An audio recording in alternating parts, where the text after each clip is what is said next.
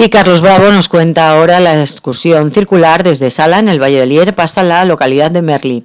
Subida por la pista de Chordal con bajada hasta Merli, donde el grupo se fotografió junto al Menir y vio la casa Turmo y el exterior de la iglesia parroquial. La vuelta ha sido por el PRHU 48 con una bajada final por un bosque húmedo y musgoso eh, de la cara norte de la sierra. Nos lo explica Carlos Bravo del Centro Excursionista Ribagorza.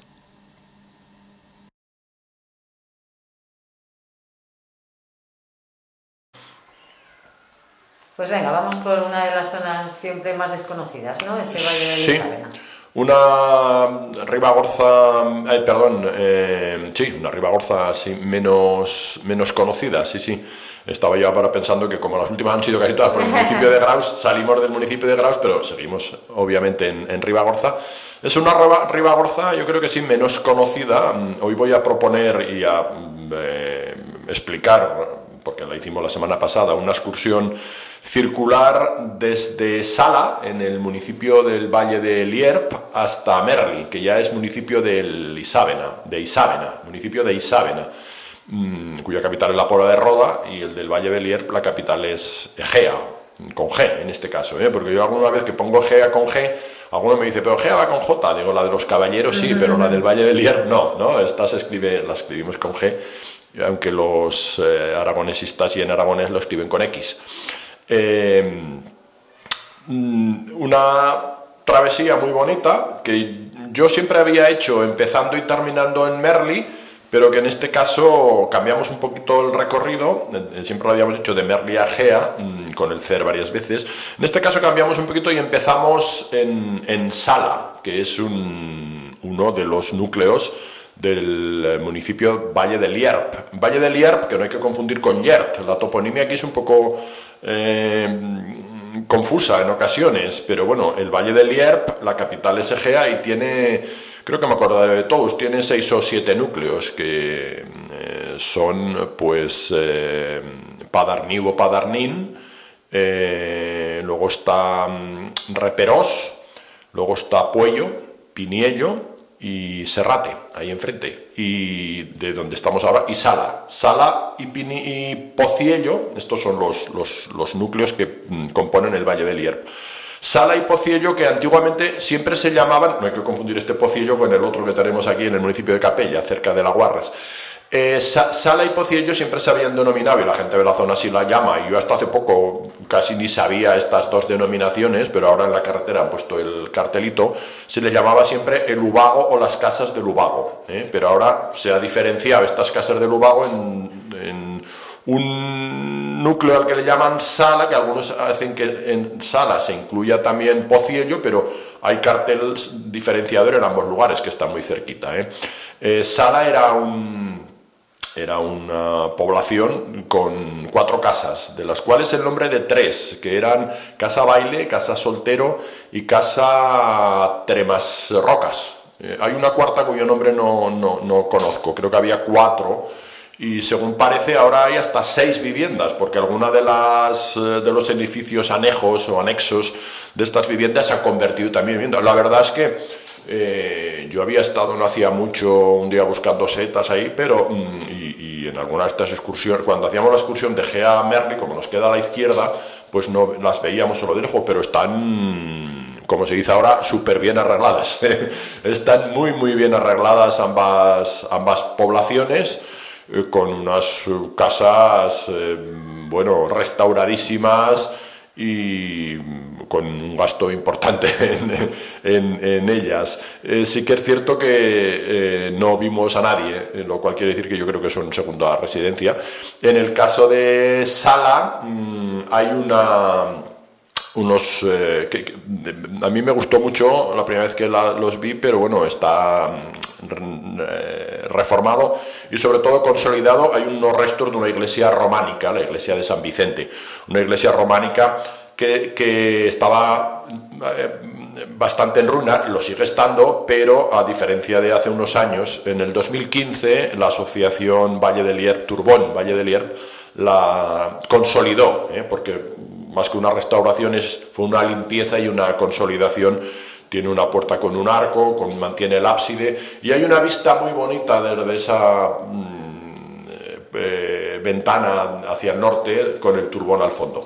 Esta excursión la hicimos la semana pasada cuando salga este programa, pues eh, hará unos 10 días, en un día que empezó eh, con un sol y una luminosidad extraordinaria y el día anterior había estado lloviendo aquí en Graus y nevando ahí arriba en la parte alta, con lo cual estaba el turbón precioso. Por la mañana estaba precioso el turbón con la nieve recién caída, Cotilla igual, el cielo azulísimo, despejadísimo, pero a medida que avanzó el día se fue mm, nublando, incluso al final de la excursión nos cayeron algunas gotas. Por eso hay fotos del, turbón y desde este arco de la iglesia de Sala tomé la misma foto al inicio y al final de la excursión, porque empezamos y llegamos allí, y lo mismo que del turbón, y bueno, parecían tomadas en días distintos, ya habían pasado unas horas. ¿eh? Eh, desde Sala... Mm, a donde se llega por carretera, ¿eh? se llega por carretera, nosotros subimos eh, hacia campo, de campo nos desviamos hacia, hacia Gea, hacia, como si fuéramos hacia el Turbón, y un poquito después del desvío a Gea, eh, que es la capital de este valle de Lierp. Por cierto, en lo que yo he visto de la, toponimia hay dos interpretaciones, no sé si ninguna de las dos me acaba de convencer mucho, pero hay una de Moisés Elfa, que hizo un libro de toponimia de la zona, que yo lo leí en su momento, eh, que habla de mm, el posible significado. No, este era Benito. Bueno, eh, sí, Moisés, Moisés Elfa, ya empiezo por él. Coincide un poco con Bienvenido Mascaray en un significado así del ibero vasco, como que significaría el valle bajo los pinos o el valle con pinos, no sé hasta qué punto. Y Benito Moliner tenía otra interpretación mm, que era el, valle de el valle de los yermos, de la zona yerma, no sé si son un poco diferentes, aunque ambos pueden, porque la zona baja sí que es un poco em, más yerma, digamos, y sí que es cierto que sobre todo en esta ladera por la que nosotros vamos a andar ahora, eh, yendo hacia Merli, pues es un bosque absolutamente de pinos. Tampoco sé si estos pinos em, llevan mucho, mucho tiempo allí, ¿eh? Eh, porque muchas zonas son de repoblación. Mm, en cualquier caso, estas son las dos interpretaciones que he encontrado de esta toponimia del valle de Lierp. Eh, como digo, se llega en carretera hasta el propio Sala y nosotros lo que hicimos fue dejar allí los coches y retroceder un poquito por la carretera, pasando por la otra casa que es Pociello, que eh, ya digo, mm, siempre se habían denominado unas y otras eh, las casas de Lubago. En Pociello mm, aquí la toponimia es clara, es un pozo pequeño, habría algún sitio de, extracción de agua. Eh, había dos casas, una de las cuales al parecer desapareció y la otra, que está extraordinaria, está vallada y se llama Casa El Roy, eh, Casa El Rollo, supongo que serán los pelirrojos o los rubios. Mm, Casa Roy y tiene una capilla que también he visto fotos de cómo estaba y cómo está. La capilla esta no es románica aunque la anterior de sala de San Vicente estuvo restaurada después eh, sufrió modificaciones posteriores eh, pero esa es románica del siglo XII quizás XIII y esta se veía más popular del siglo XVII o XVIII aunque no la pude ver por dentro porque está todo vallado pero la vi desde fuera. Eh, estaba dedicada a Santa Quiteria, aunque se conocía en la zona como la capilla de Casal Roy. Mm, pasamos por allí y ya inmediatamente conectamos con el punto que yo ya había hecho varias veces, que es el PRU48. El PRU48 es el PR que se inicia en Roda de Isabena y termina en Serrate. ¿eh? Eh, nosotros lo, cogimos ahora un trocito y en un punto de bifurcación, en vez de seguir por el PR que decidimos coger para la vuelta, nos fuimos a la izquierda por la llamada pista de la Sierra del Chordal. El Chordal, que parece ser que es una, una denominación más o menos aragonesa del Cordal. ¿eh? La Sierra de Chordal, que es famosa porque tiene buenas setas, hay algún repetidor por allí, suele ser una zona de búsqueda de setas, y ahí hay una pista para hacer la excursión circular, pues cogimos esta pista que iba subiendo, bueno, y a medida que subíamos íbamos pisando nieve, ¿eh? había nevado, hay que, hay que pensar que nosotros salimos de 1100 metros redondeando, ya por no precisar las, las altitudes exactas, creo que Sala está sobre 1080, pero 1100 metros... Eh, ya salimos y subimos hasta lo alto de la sierra prácticamente, subimos a 1530, la sierra tiene 1550, en su punto más alto, estábamos ya arriba de todo. Esta pista no tiene pérdida porque es la pista principal, y vamos subiendo y bueno, las zonas así más subagas que toda esta zona, en esta cara norte, es bastante ubagada, de ahí lo de las casas del Ubago, que todo el mundo ya sabe. A la gente que no es de la zona siempre hay que explicárselo, pero los de la zona pues ya saben que Ubago es que no toca mucho el sol, ¿eh? es la misma raíz que opaco, y de hecho en algunas zonas al Ubago le llaman el Paco, de opaco pasan a Paco. Eh, esta zona, mm, algunos tramos había nieve que pisamos y arriba en el punto donde ya se desciende hacia el otro lado había, hombre, no mucha, mucha, pero pisamos nieve, se verán las fotos. Ahí al bajar decidimos, porque uno de los participantes eh, había estado una vez y pues eso de mm, chafardear, entre comillas, un refugio que hay ahí al lado y no había estado, y bueno, hay un refugiete y siempre nos a, a, pocos metros de la pista y siempre apetece ver un poco por si una vez tienes una urgencia, es un refugio muy feo, la verdad, muy feo, funcional pero muy feo, una caseta muy pequeñita y tampoco tiene grandes vistas, pero en caso de un apuro es para poder refugiarte allí. Eh, retornamos al camino principal y ya fuimos bajando, ya empezamos a ver... Eh, Mm, abajo Merli en algún momento a nuestra derecha y veíamos sobre todo Dolomada y estábamos en el otro lado del valle, eh, al otro lado del valle con el morrón de Huela ahí enfrente, es un cambio de valle. Este valle, este lado de, lado de, de no tiene un nombre determinado, algunos le llaman el valle de Dolomada, de Carrasquero, pero no tiene un nombre determinado. Al otro lado de Merli, eh, pues eh, eh, esa parte sí que ya se denomina como el Valle de Nocellas más, ¿no? Hacia el otro lado de Merli, porque Merli, ahora lo contaremos, está justo en la divisoria entre los dos lados. Allí ya mm, fuimos bajando y, ahí ya es una ladera más soleada, la ladera sur, ya no había nieve y ya teníamos un poquito de sol que ya se iba cubriendo, al final se cubrió del todo, ya digo, hasta cayó alguna gota, y ya conectamos bajando con el PRU 48, que es el que comentaba antes, que viene de Roda de Isabena, y que ya íbamos a seguir hasta, hasta prácticamente el final. Eh, aquí eh, el PR ya eh, enseguida nos dejó, lleva a Merli, y un poquito antes de llegar a Merli, el mismo PR pasa por el eh, monumento, podemos decirlo así, porque es un monumento megalítico más conocido de uno de los más conocidos de Ribagorza y sin duda el lugar más conocido de Merli, que es el Menir de Merli, ¿eh? el Menir de Merli. No sé si estuvo Bélix por allí lo dejó, pero el Menir de el Menir de Merli, eh, donde que está en un campo, al lado justo del, del camino, pero hay que bajar unas unas puentas, como decimos aquí, unas ponetas, y en el campo, en el lateral ahí estaba de alfalfa, pero se puede pisar de momento, más adelante ya no sé. Nosotros nos hicimos una foto ahí de grupo y estuvimos eh, viendo ese menir, que mm, es un monumento megalítico. Eh, como menir es el más importante que hay en Ribagorza, porque tampoco hay apenas, ¿no? Hay más dólmenes, pero menir es... Este está catalogado como tal, siempre hay gente que mm, duda un poquito que salga de allí la roca, pero como tal está catalogado y, se supone que tiene una antigüedad entre 5.000 y 7.000 años, se dice, y bueno, tiene 6 metros prácticamente de altitud, es un sitio, es una piedra y ahí nos estuvimos eh, haciendo fotos a veces individuales y abrazándonos un poco al menir porque dice que estos sitios transmiten fuerzas telúricas del fondo de la Tierra, no sé hasta qué punto. Eh, y desde allí ya fuimos hasta Merli. Merli es un pueblo que a mí me gusta mucho, a mí me parece un pueblo precioso, es un pueblo muy pequeñito, con muy pocas casas. Ahora mismo creo que viven dos familias, tres, una casa que compraron, eh, y yo que sepa, viven en la casa Turmo, que ahora explicaré, que tuvimos la suerte de ver, que es una preciosidad. Para mí fue lo mejor de la excursión, porque no la había visto nunca por dentro. Y la casa Bringué, no sé por qué nos hará, en mi caso con Cristian Laglera una vez, y con algunos amigos nos ayudaron eh, los de esta casa a encontrar los restos de la ermita de Santa Engracia, que no había forma de encontrarlos, pero tampoco era fácil porque es que casi no quedan ni restos. Habíamos pasado por encima varias veces, pero no sabíamos que lo eran, hasta que nos lo confirmó el, chico de casa Bringué.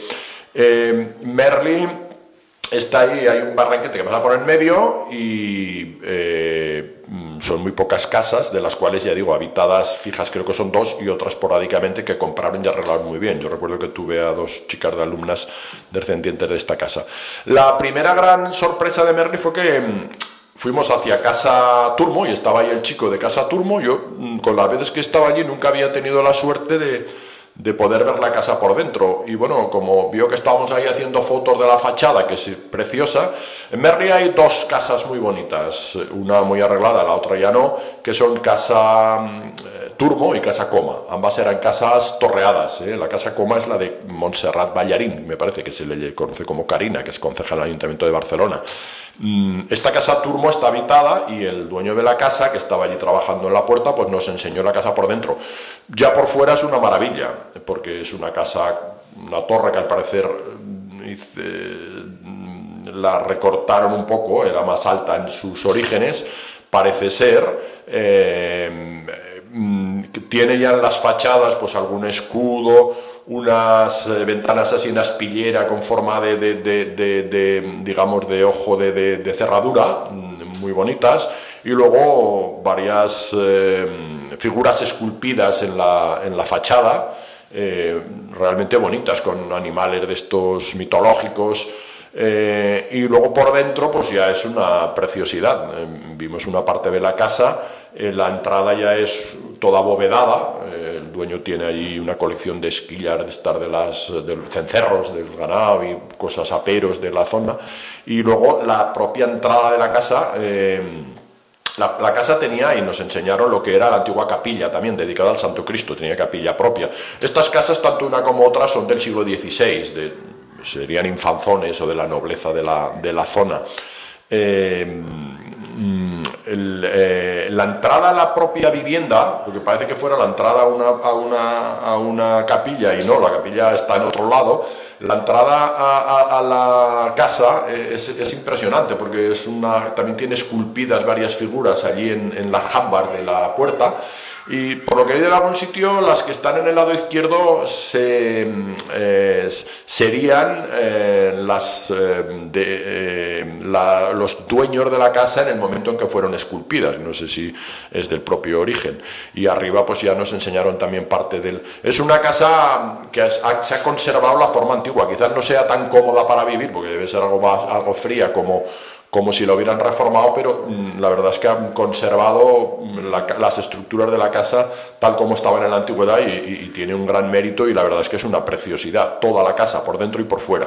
De allí ya subimos hacia la iglesia, la iglesia está dedicada a San Antonio de Padua, es una iglesia más convencional, salvo la puerta, eh, el pórtico y la propia puerta de madera, que es una puerta preciosa, a mí siempre me ha gustado mucho, es una puerta de estilo mudéjar, Hice un artículo hace unos años de, eh, digamos, lugares eh, mudéjares en Ribagorza y siempre hablábamos de las yeserías de Juseu, pero siempre se olvida meter de esta puerta que es muy parecida, es de, arte mudéjar, ¿eh? no es que la hicieran los mudéjares, es muy parecida en pequeño y más rústica a la de la mm, Catedral de Roda. ¿Eh? Y al parecer esta puerta, eh, al menos el pórtico, pertenecía a la antigua iglesia de Santa María que estaba en el castillo del pueblo, que estaba en lo alto del pueblo. En lo alto del pueblo quedan restos, yo he subido varias veces, muy poquitos quedan restos del antiguo castillo de Merli, que está documentado ya en el siglo XI. Y, allí al parecer pues estaba la primera iglesia, que sería la iglesia castrense, que sería la primera iglesia del pueblo, eh, dedicada a Santa María, y muy probablemente, así lo dicen algunos expertos en románico, de, ese, mm, de esa iglesia originaria eh, procedería eh, lo que queda, lo que hay de románico en la iglesia actual de San Antonio de Padua, que yo tampoco, como todo el mundo dice en todos los que han escrito sobre esta iglesia, la he podido ver nunca por dentro, porque casi nunca hay nadie que tenga la llave. Todos dicen que no, que no tienen ya los pocos habitantes del pueblo. ¿eh? Em, la puerta tiene una verja que se puede abrir y, ver esta iglesia que por lo demás pues es más convencional, será del siglo XVIII. Atravesamos el pueblo, nos subimos ya al castillo. Me he dejado una cosa muy interesante también eh, que no he podido ver nunca tampoco y tengo mucho interés en ver, pero que ya me dicen que si no te acompañan no, se, no los encuentras, que son los, eh, unos pozos de nieve que dicen que son muy bonitos que están en la, parte, en la sierra de Chordal. Yo creo que no pasamos muy lejos. Me han dicho algunos que los van a señalizar y a poner algún panel, ojalá, porque si no te acompañan se ve que no se encuentran. Están en oquedades de la propia roca y al parecer están muy escondidos. Puedes pasar por el lado y no verlos. Mm, parece ser, y ojalá, ya digo, a, ver si de una vez pudiera ser para que lo pudiéramos ver sin necesidad de que te acompañe alguien que tiene que subir ahí. Eh, mm, que lo señalizaran y pusieran algún panel. Eso está en la parte de Chordal de donde bajamos. Pues allí en Merli ya atravesamos el pueblo. Eh, la siguiente casa, Casa Coma, también es una casa muy bonita, esa ya no la podemos ver por dentro, esa no está habitada y está algo más abandonada, pero también tiene unas puertas muy bonitas, unas ventanas muy bonitas. Y ya continuamos por el PRU 48, que no está muy bien marcado, hay que andar ahí con atención porque hay que seguirlo, están las marcas muy, muy despintadas y mm, no sería la primera vez, una vez con el CER, me acuerdo que nuestro amigo Cachano siguió, como se dice aquí, al derecho y tuvimos que llamarlo porque se fue, se pasó las marcas. Hay que estar mm, bastante atento y ahora con los tracks la verdad que todo es más fácil, porque eh, yo como ya había pasado otra vez, tenía mi propia ruta grabada, mm, había pasado, además no hacía mucho, eh, va subiendo por sendero mm, hacia lo que algunos llaman el collado de, de, Merli. Eh, en el otro lado, mm, encima de Sala, donde hemos estado, está la peña Turmo, también se le llama así. Este senderete es bonito de subida, pero lo es muchísimo más de bajada. Es lo más bonito de todo el recorrido que estamos haciendo, porque ahí en el, en el em, collado hicimos una parada, ya terminada la subida. Por cierto, Merli, mm, porque en esto también lo estábamos comentando, y, claro, Merli constituyó municipio en su momento, hasta los años 60 constituyó municipio por sí mismo por sí mismo con otros pueblos. Creo que tenía Esdolomada, Nocellas, Espluga y no sé si alguno más, pero estos eh, eran el municipio, el municipio de Merli.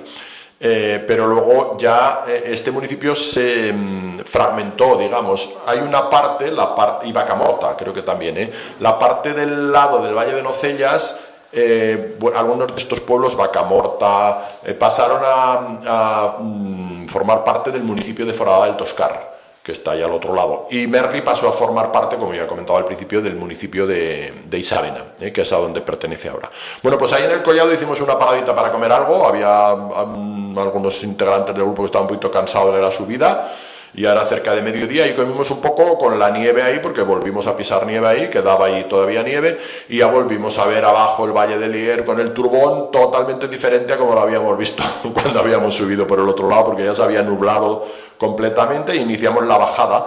La bajada es eh, lo más bonito, ya digo, por un bosque cerrado de pinos, bojes, el camino con bastante bajada pronunciada hay que, había que ir atento porque había, hay mucha humedad. hay algún sitio que está un poquito cerrado que te mojabas incluso por los bojes que tenían la humedad de la noche anterior en la que había llovido y en la, parte más alta había nevado. Y ya desde allí pues conectamos otra vez, llegamos, bajamos ya al punto donde eh, si hubiéramos seguido el PR recto, si hubiéramos ido hacia Gea y luego pues el PR en realidad sigue hacia Serrate y nosotros nos fuimos ya, los, yo creo que no hay ni un kilómetro de carretera, que fue lo que hicimos, escaso, eh, ya volvimos a pasar por, por Pociello, y la ermita que, como he comentado, de Santa Quiteria la Casa al Ros y eh, terminamos donde teníamos el coche en sala, cerrando el círculo. Eh, y repitiendo solo este trocito. El círculo lo cerramos ya un poquito antes, pero repetimos solo este trocito de carretera de ida y vuelta. En total fueron redondeando 15 kilómetros, ¿eh? me salieron 14.800, algo así, pero bueno, 15 kilómetros de recorrido que hicimos en algo más de 5 horas, 5 horas y media bien, pero hay que pensar que en Merli hicimos una parada muy larga y eh, afortunadamente porque fue ya digo, un lujo poder ver la casa con las explicaciones del propio propietario, fue un lujo.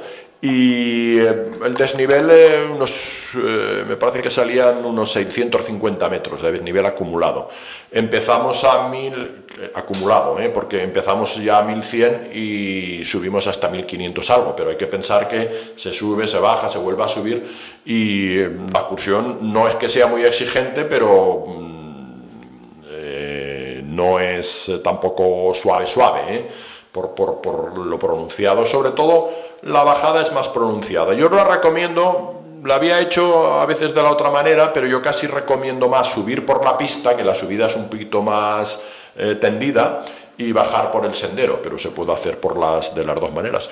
Pues esto es lo que quería contar hoy, este recorrido, una travesía entre dos valles, pasando la sierra de Chordal, y conociendo Los pueblos también desconocidos sí, yo creo que bastante desconocidos ¿eh? bastante desconocidos y muy bonitos Merli es un pueblo precioso ahora la carreterita que sube desde la Pola de Roda mm, es estrecha y sinuosa ¿eh? tiene curvas y contracurvas y recurvas como decían antes como decían antes y eh, decían revueltas decían cuando yo era crío me acuerdo que decían tiene unas revueltas la carretera pues eh, estrechita y luego el pueblo está eh, a 1250 metros de altitud, que los inviernos deben de ser bastante duros. ¿eh? Ahí también hubo presencia de maquis en los años posteriores a la guerra civil, cuando, porque era un lugar que propicio para los escondrijos y, las, eh, y para cuando tenían que replegarse, esconderse por esa sierra del, Chordal en los últimos tiempos en los que ya quedaban pequeñas partidas eh, desconectadas entre sí. Pero bueno, eh, quien quiera hacer esa excursión no es demasiado difícil mm, en el sentido de, de sí que tiene que estar, es curioso porque lo que no es PR, la pista es mucho más fácil de seguir que lo que es el PR, porque en el PR sí que es verdad que es uno de estos eh, con marcas amarillas y eh, blancas que se ha despintado mucho y, no se sigue demasiado bien. Creo que he comentado ya todo lo comentable de esta excursión. Perfecto. Y mm, la semana que viene pues ya comentaremos alguna otra.